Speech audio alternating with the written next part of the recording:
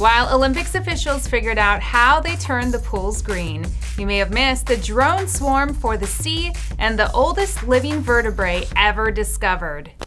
Welcome to In Case You Missed It, where today's all ocean show means you should probably pause and get this animatronic shark suit to celebrate with. Sharks have been swimming Earth's oceans for more than 510 million years, but now researchers have found that one in particular, the Greenland shark, is especially long lived. They performed carbon dating tests on 28 of the animal's eyes after they were accidentally caught. Scientists say one shark may have been 512 years old, but the average age is more like 272. That means at least one of those sharks was alive during Shakespeare's time, so I suggest we call it the Methuselah shark. That's a Bible joke. Jeez.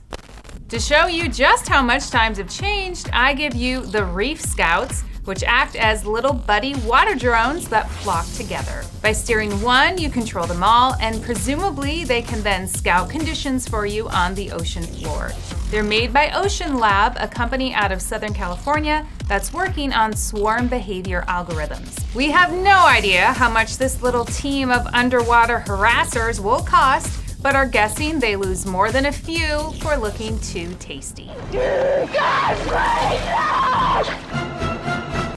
And finally, an environmental group filmed a truly disgusting beach in Mumbai, India, where organizers had been working for 43 weeks to tackle the insane amounts of junk washing up on shore.